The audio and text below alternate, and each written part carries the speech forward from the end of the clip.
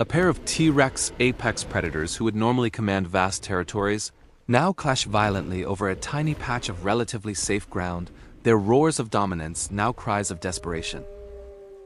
As the mountains continue to shatter, glowing, lava-like debris flows down the slopes, incinerating everything in its path. And above it all, a dark shroud is being drawn.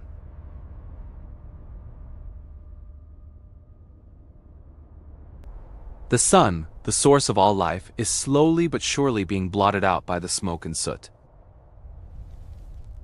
The immense cloud of dust, soot, and sulfur ejected into the upper atmosphere starts to spread, carried by stratospheric winds.